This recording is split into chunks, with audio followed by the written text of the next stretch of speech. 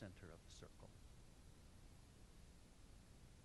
Because our responsibility to do God's will is to care about other people.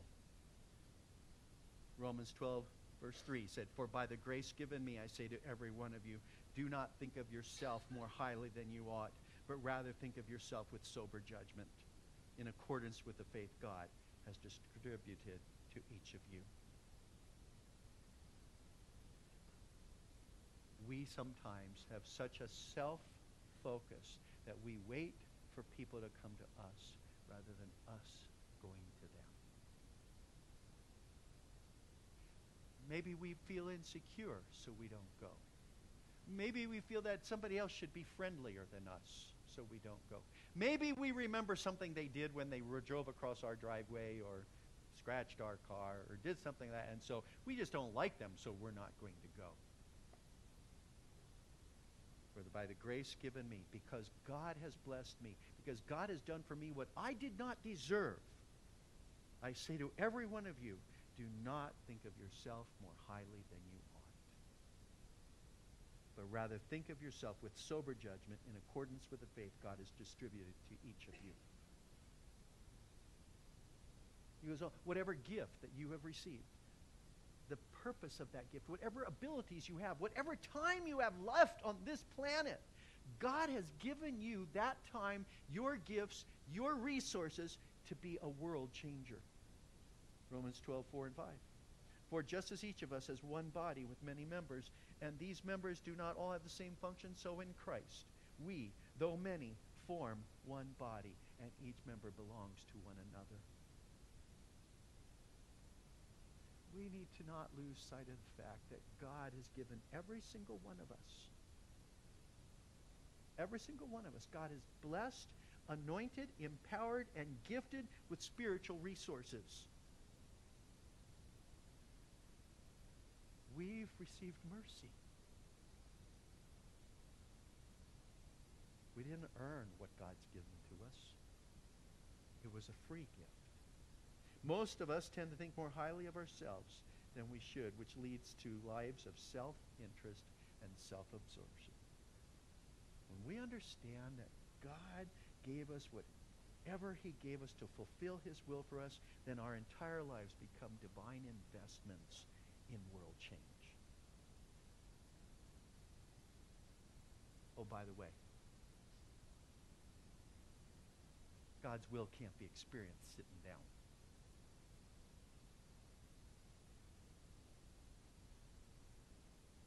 We have different gifts. Romans 12, 6 through 8. According to the grace given to each of us, if your gift is prophesying, then prophesy in accordance with your faith. If it is serving, then serve. If it is teaching, then teach. If it is to encourage, then give encouragement. If it is giving, then give generously. If it is to lead, do it diligently. If it is to show mercy, do it cheerfully. But God is calling us to action, not to be idle, not to sit and watch, but to act, to do, to work, to use what God has given to us. What did he say in the very first verse that we looked at this morning? Therefore, I urge you, brothers and sisters, in view of God's mercy, to offer your bodies as a living sacrifice, holy and pleasing to God. This is your true and proper worship. The term living sacrifice, doesn't that sound like an oxymoron to you? I mean, living sacrifice? Living sacrifice, that, they don't work very well. Have you noticed? You put something on the altar and you say, sit here before I kill you. It doesn't work. Living sacrifices jump off the altar. And yet, that's what we've been called to be. In fact, you remember the, in the sacrificial system, what did they do? The, the priest would actually kill the animal, the lamb, the goat, the, the um, bull, or whatever, kill it with a quick slice to the neck, then take the blood from that animal, then take the inner parts of the animal, the parts that you were going to burn on the altar, and you'd then pour it out, you'd sprinkle it, you'd spread it around, you'd put the parts that were going to be burned on top of that altar. But you did that after the animal died, you didn't do it before. Because living sacrifices, as I said already, jump off the altar. And yet, what does Paul say? That we are supposed to make ourselves available to be living sacrifices. and that this is our true worship. But wait a second, shouldn't it be about really singing beautifully? Or really getting the rhythm right? Or, you know, how much we put in the offering plate? Or even, even you know, uh, you know, making sure that, that we're there every single Sunday? I mean, isn't that about what real worship is about? No, no, no. Look what he says. See, see the real worship, the real worship is to become a living, a living sacrifice. One that's been transformed by God. And one that's willing to allow God to continue to transform you. And I guess that's the question as we're wrapping up the message this morning. Will you allow God to transform you to accomplish his will? Or, and watch out for this one, or are you going to tell God what he should do in your life? Is it your will or his will?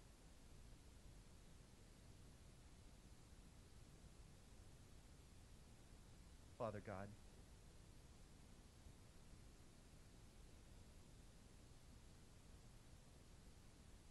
each of us here has admitted that we needed you, that we have sinned, that we've fallen short. We've each one believed that you died and rose from the dead and that you've invited us into a relationship with you. And we've each committed our lives to following you. And yet, Lord, today again, we need to have our lives transformed. We need to become like you. We need to become living sacrifices, offering ourselves to become world changers in this very community with the people that are right around us. God, help us. Help us to do your will. In Jesus' name.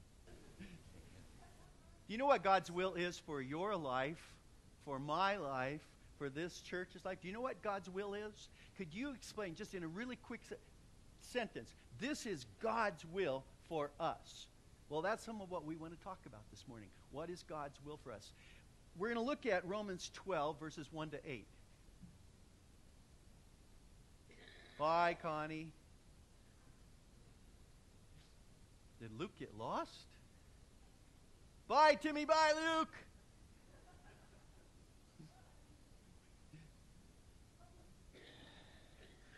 Romans 12, 1 begins with a word, therefore.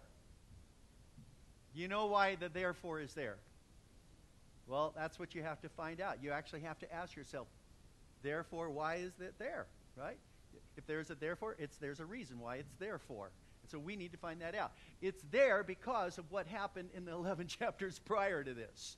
But we're jumping into Romans 12, verses 1 through 8. So we need to understand why it's there. Let's go back. In fact, perhaps the best way to understand what that therefore is about is some of you have heard about the Roman road to salvation. The Roman road to salvation begins in Romans 1, verse 20. For since the creation of the world, God's invisible qualities, his eternal power and divine nature have been clearly seen, being understood from what has been made, so that people are without excuse. For although they knew God, they neither glorified him as God nor gave thanks to him. But their thinking became futile and their foolish hearts were darkened. The fact is, creation is evidence of a creator. You look at the world around us, and there's so much unique design out there. There's no way it just oozed out into existence. You look at the design of a single human being. Look at an infant's little fingernails and their toes and their eyelashes and eyebrows, and everything says something special uniquely designed this entity, this human life. And it's that way with everything about creation. And Paul says as he starts the Roman road to salvation, creation and its invisible qualities has literally shown us God. And we can maybe never hear anything else about God, and yet we know there's God out there simply by looking at the world around us. He goes on then to Romans 3:23. For all have sinned and fallen short of the glory of God. There's not a single one of us that's perfect, nor that could ever become perfect on our own in our own behavior and our own abilities. All of us fall short of the measurement, not of another person. See, the danger here is we oftentimes compare ourselves to somebody else. You look around the room, I bet you can find somebody in here that you say, Well, I'm not as bad as them. Or I'm better than that one, right? You know, I, I behave a little bit better. I'm spiritually a little bit more mature or something like that. You could probably find some. Can, do we have a pecking order? You count on it that Timmy and Luke know the pecking order, right? we, we kind of understand there's a, there, these, these dynamics. And yet, in God's eyes, all, all have fallen short. Every single one of us, all of us have sinned. Therefore, there's only one order. We're all on the level of sinner. And God's on the level up here of perfect. And all of us have fallen short of him. Romans 5 8. But God demonstrates his own love for the, us in this while we were still, still sinners, Christ died for us. It was while we're still opposed to him, we're still against him, we're still messing up royally, terribly. Christ died for us. And he demonstrates his love in that Christ died because he loved us. In Romans 6:23 for the wages of sin is what? Death. But the gift of God is eternal life in Christ Jesus our Lord. We've all sinned, we've all fallen short. God has made it po- possible for us to come to Him. And to do that, for the next one, Romans 10 9 and 10, if you declare with your mouth that Jesus is Lord and believe in your heart that God raised him from the dead, you will be saved. For it is with your heart that you believe and are justified, and it is with your mouth that you profess your faith and are saved. You see, faith and relationship with Jesus Christ takes an act of belief, an actual public statement of, I am following Jesus Christ. I believe in him. Romans 10:13 Everyone who calls on the name of the Lord will be saved. That's the way Jesus said it. I'm the way, the truth, and life. No one comes to the Father but through me. If everyone who calls on him is saved through him. And then finally, verse 11, chapter 11, verse 36, the verse that was right before Romans 12, which we're going to read next.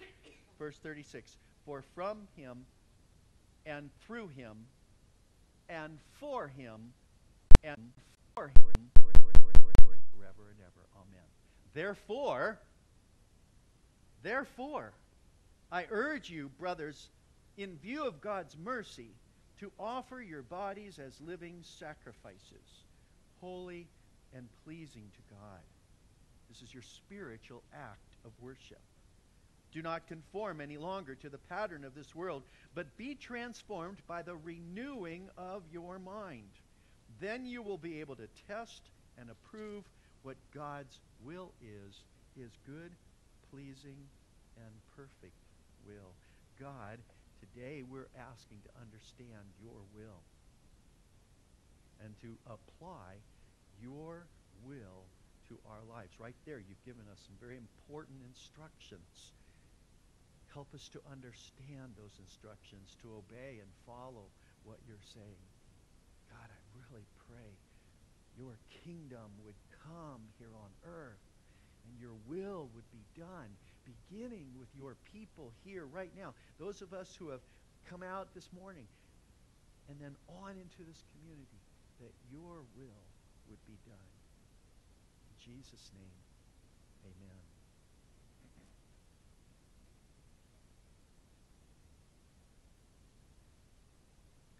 Therefore, because we have this whole way to come to God, and we've been invited into relationship with Him, and we now have that relationship, Therefore, we have a responsibility. And our responsibility, I'm going to borrow today from a lot of notes from uh, Tom Mercer, from the pastor at High Desert Church. Uh, High Desert Church is a church of over 10,000 people now. Now, when Tom uh, talks about his church, he says they're a church of 150,000. And the reason why he says they're a church of 150,000, he says 140,000 don't know that they're coming to the church. But they're in the influential world of, they're in the oikos of, they're in the household of, they're in the relational community of the 10,000 that are already coming to High Desert Church. God's will is for us to be world changers. It's not for us to be sitting on our duffs doing nothing. God has called us to literally make a difference in our world. And so what we want to look at this morning, first off, what is a world changer? A world changer is someone, a world changer on the screen, guys. There it is. A world changer is someone who actively encourages people in their relational world to become Christ followers. World changers. We have a responsibility to build relationships with the people in our, our world and, and referred to as our relational world. Every one of you has 8 to 15 people that you connect with in some way or another. Funny thing is, some of you have actually brought some of those people with you to this church, haven't you? Even this morning. You have a relational world, people that you connect with, 8 to 15 people. Some of them are family members. Some of them are neighbors. Some of them are work, people, coworkers that you work with all the time. But they're people that are part of your relational world. The first verses of chapter 12 deal with telling us what God's will is for us. And we need, so, well, I probably should stop. Let's define God's will. Next slide, please. God's will refers to any activity that reflects God's attributes and fulfills his purposes. Any activity that reflects God's attributes and fulfills his purposes as you look at Romans 12:1, God's will is always a reflection of his mercy. Therefore, I urge you, brothers and sisters, in view of God's mercy, because God has been merciful to you. And he's going to tell us this is what we need to be doing. In view of God's mercy, offer your bodies as a living sacrifice, holy and pleasing to God. This is your true and proper worship. So, what kind of God do we believe in? You see, if our God is not a God of mercy, then why in the world would we want to do his will? I guess to avoid whatever punishments he may dole out, to avoid any mean things he may want to do to us. But would we really want to do his will? No, no, we'd just be acquiescing. But we want to do the will of a merciful God a God who has loved us, who has cared about us, been gracious to us, and kind to us, a God who cares about us so much so that he died when we were in opposition to him. That's a God that we want to do that person's will. He says, this is your spiritual act of worship. It's interesting, this, the word there, spiritual, is lo, logi, logikos. Logikos. What does that sound like? Logic. Now that's interesting, isn't it? That the word for being spiritual is a word that we have as a root for logic. To be logical, actually, to be logical is then to be spiritual. Because it's a logical thing to follow after God. It's something we're going to normally want to do. It's something we've been created to do. So choosing to pursue the will of this merciful God is a logical act. It's sensible. In the apostles' opinion, this is the biggest no brainer in history. And now I'm quoting Tom Mercer. He says, Pursuing God just makes sense. It makes sense eternally as well as temporarily. Some preachers might say that you need to pursue God's will today because you might die tonight. And that could happen, right? Paul would say that you need to pursue God's will today because you probably won't die tonight. And you will have to get up tomorrow because you're going to face tomorrow, you should pursue God's will. Because God's put you in this world to be in relationship with people and to do His will, you should pursue that will. Not like, you know, well, I hope I die so I don't have to. God's will involves a decision of God's people. Notice what verse 2 says. Do not conform to the pattern of this world, but be transformed by the renewing of your mind. Then you will be able to test and approve what God's will is, his good, pleasing, and perfect will. You will understand God's will if you make a decision to conform not to the pattern of this world, but be transformed. We have a choice to make, don't we? Do we want to be conformed to the world, or do you want to be transformed by the Word of God? It's not a choice for salvation. Looks to me like everybody here has made that choice, haven't you? You've already chosen to, to, to accept what Jesus paid for on the cross. But now you still have a choice. Am I going to now do the will of God?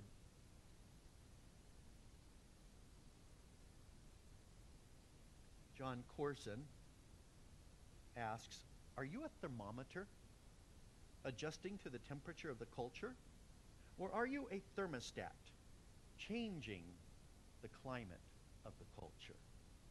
If you're a conformer, a thermometer, you're in for perpetual frustration because by the time you take the temperature and figure out what's hot, by the time you change your look or buy the car or redo your house, the world will have moved on, leaving you out of style.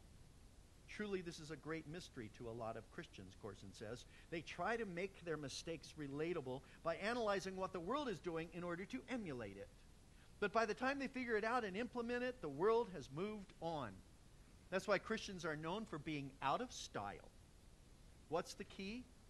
Don't be a thermometer, be a thermostat. Don't be a conformer, be a transformer. Say, I'm in a whole different place than you are, world. I'm living for eternity. I'm preparing for heaven. Follow me. God is calling us to no longer conform to the patterns of the world out there. And think about that. Don't we aren't we vulnerable to that even sometimes as churches? Well, we need to make our music sound like the world, or we need to uh, do colorful things uh, that, that sound like the world. We need to start saying that sin is not a sin so that we're more attractive. And, and say that, you know, well, maybe the Bible doesn't really say that so that we make the Bible more appealing. We soften the blow. We, we take the truth out of things. And, and in the process, what have we done? We have given into the world. We've conformed to the world's patterns instead of doing the will of God. God's will is a clear departure from the world. He says, don't conform to the pattern of this world. It's not about the way we dress, though, is it really?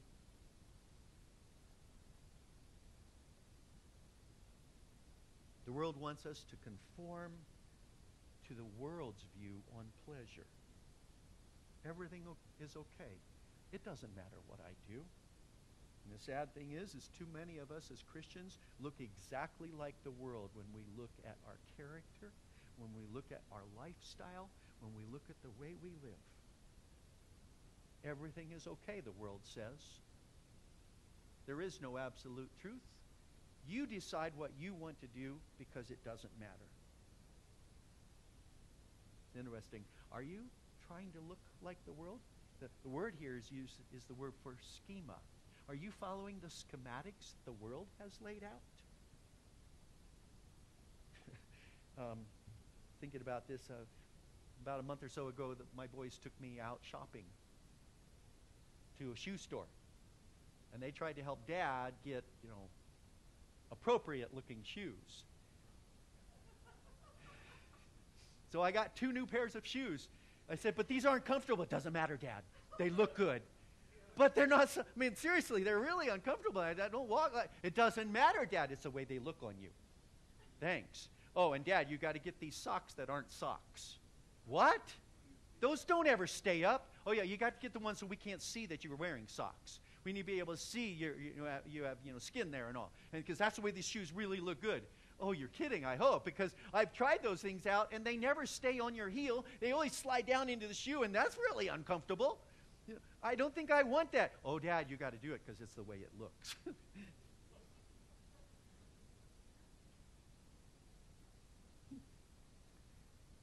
what are you putting up with? Because you want to look like the world.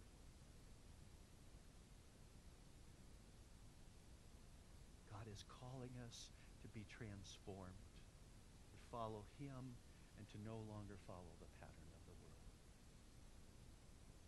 It's God's will to make a clear departure from the world. And it's God's will for us to align with God's Word. Do not conform to the pattern of this world, but be transformed by the renewing of your mind. Then you will be able to test and approve what good God's good will is. His good, pleasing, and perfect will. George Gallup was speaking to the Southern Baptists um, not long ago, and he said, We find there is very little difference in ethical behavior between church goers and those who are not actively religious. This gets sad, folks. The levels of lying, cheating, and stealing are remarkably similar in both groups. Eight out of ten Americans consider themselves Christians. Do you realize that? Eight out of ten Americans consider themselves Christians. Gallup said, yet only about half of them could identify the person who gave the Sermon on the Mount. It was Nicodemus, right? You know, in case somebody's wondering, is Jesus? Okay, I do know. Okay. He goes on and says, fewer still could recall even five of the Ten Commandments. Only ten, two in ten said they would be willing to suffer for their faith.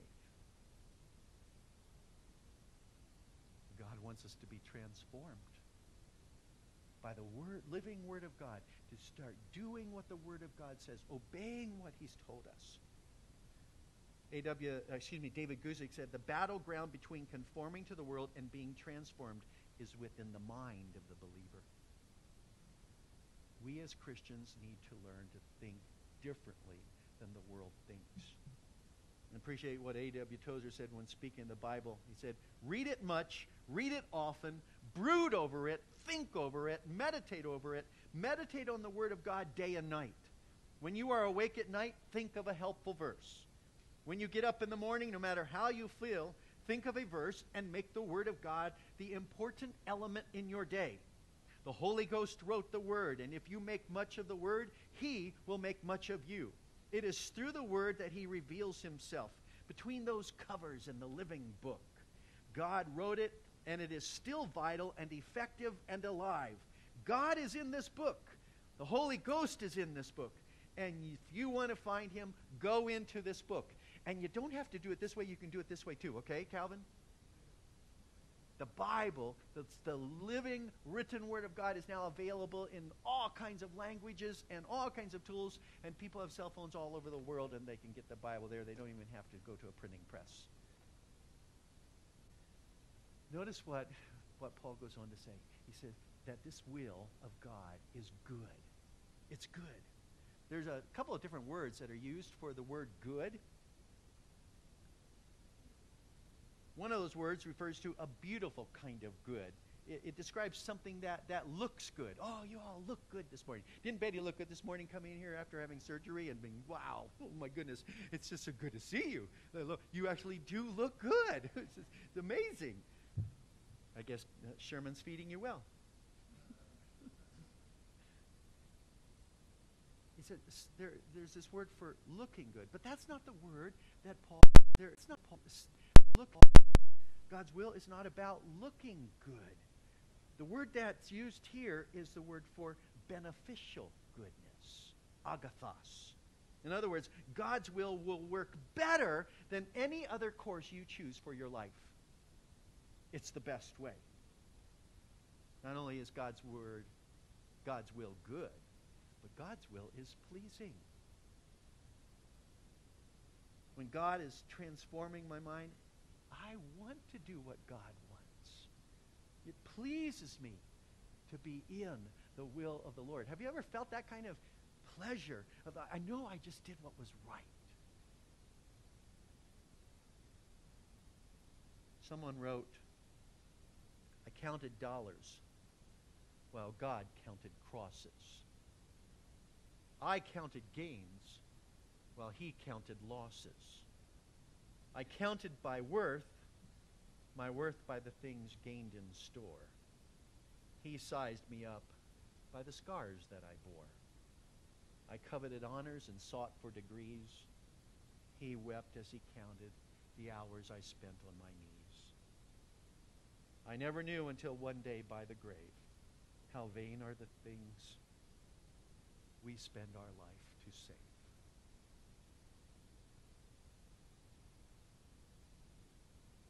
I can't help but thinking that Peter, Peter was pleased to do the will of God the last week of his life when he gave out that little book, when he called for the little yellow book.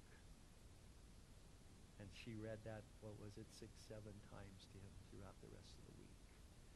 Because he wanted to make sure that Vanessa would be in heaven with him.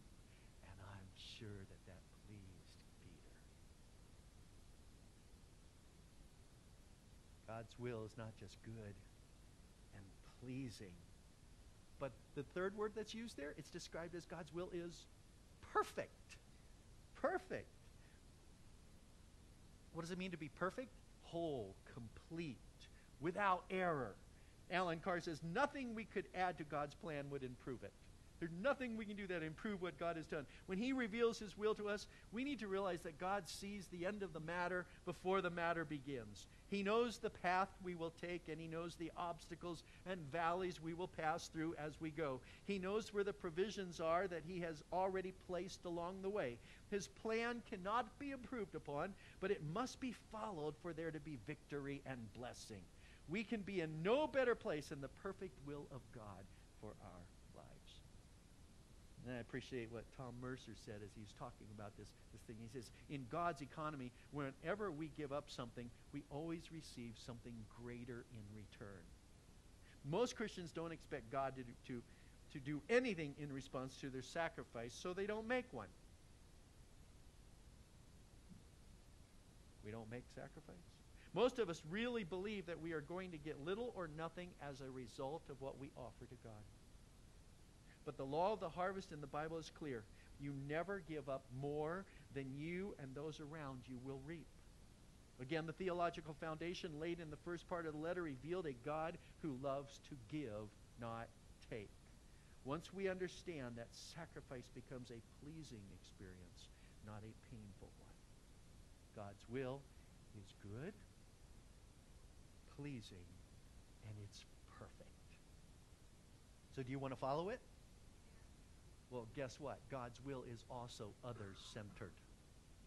It's others centered. um, Tom Mercer found a, a, an advertisement about, and a pamphlet about uh, Yellowstone National Park. And this is written by a person named Burnett D. Brown. At Yellowstone National Park, visitors are frequently, war- frequently warned not to get too close to park wildlife especially bison, because serious injuries could result from an attack by the large animals. Near one of the geysers, frequented by both bison and tourists, danger, danger, I overheard a tour guide discussing safety. Now let's walk through what we should do if a bison attack looks imminent. He told the crowd, capturing their undivided attention. The first thing you do is form a circle stand as close together as you can. Make sure you're shoulder to shoulder with the people next to you. Keep your back towards the center of the circle.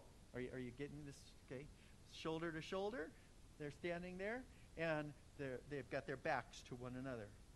And then he says this the tourist clung to his every word as he continued. Most of all, and this is the part that is very important, whatever happens, always make sure that I'm in the center of the circle.